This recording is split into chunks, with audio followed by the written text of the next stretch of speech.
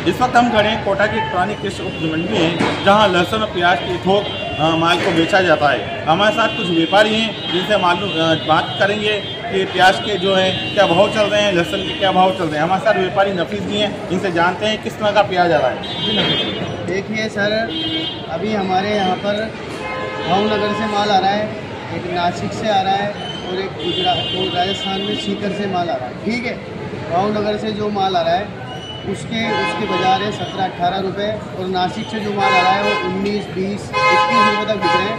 और सीकर के जो गीले माल आते हैं अभी नई फ़सल माल चालू हुई है तो वो बारह तेरह रुपये उसके भाव चल रहे हैं। ठीक है उसके अलावा आने वाले एक महीने बाद हमारे यहाँ की लोकल प्याज चालू हो जाएगी। हमारे राजस्थान एमपी के आसपास के गाँव की आती है।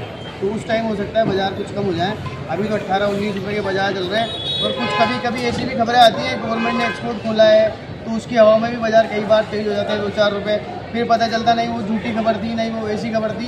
तो उसकी वजह से वापस व्यापारियों को भी नुकसान होता है, किसानों को भी नुकसान होता है, और जो हमसे नीचे लेकर जाने वाले रहते हैं, उनको भी नुकसान होता है। तो एक तो मेरा ये आग्रह है कि अगर गवर्नमेंट गवर्नमेंट अगर अपनी तरफ़ से किसी भी तरह का कोई निर्यात नहीं है तो एक नोटिफिकेशन राजस्थान की, हिंदुस्तान की सभी मंडियों में जारी करें, ताकि लोगों को पता चले कि भाई एक्सपोर्ट खुला है या नहीं खुला है। हवा में बाज़ार तेज होने की वजह से लोगों को काफ़ी नुकसान उठाना पड़ता है। जैसे अभी पिछले हफ़्ते बाज़ार बीस बाईस रुपये थे प्याज के और अभी वापस वो सत्रह अट्ठारह रुपये हो गए और आज की स्थिति ये है हमारी मंडी की।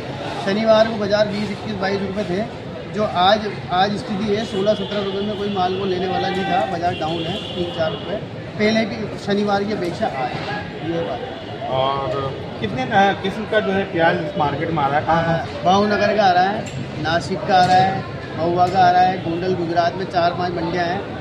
सभी जगह का आ रहा है नासिक का आ रहा है पूना का आ रहा है और हमारे यहाँ सीकर राजस्थान के पास में मंडी है राजस्थान में मंडी है सीकर वहाँ का आ रहा है चार पाँच जगह का माल आ रहा है अभी फ़िलहाल।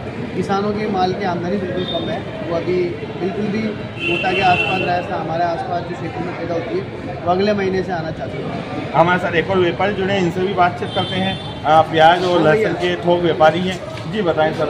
अभी किस टाइप का माल आ रहा है? क्या क्या आ रहा है? माल सर अच्छे भी आ रहे हैं मीडियम भी आ रहे हैं कुछ हल्का माल भी आ रहा है सभी तरह की क्वालिटी आ रही है। दिवाली ठंडी है बाज़ार में आवक ज़्यादा बाज़ार ठंडा है बाज़ार ठंडा है आवक कुछ ज़्यादा है। आज करीब बारह तेरह गाड़ी है मंडी के अंदर सभी बाज़ार टूटे हैं। भाई शनिवार को जो बाज़ार थे बाईस बाईस रुपये आज बाज़ार सोलह सत्रह रुपये के रखे और लोकल जब लोकल जो प्याज रहेगा, उससे और भाव कम होंगे। लोकल जब प्याज चलेगा उससे वो बाज़ार कम फ़सल आएगी जैसा कि व्यापारी ने बताया है कि जो अभी जो प्याज आ रहा है, वो बाहर से आ रहा है। थोड़े दिनों बाद जो है लोकल स्तर पर प्याज आने लगेगा तो भाव और ज़्यादा गिरेंगे।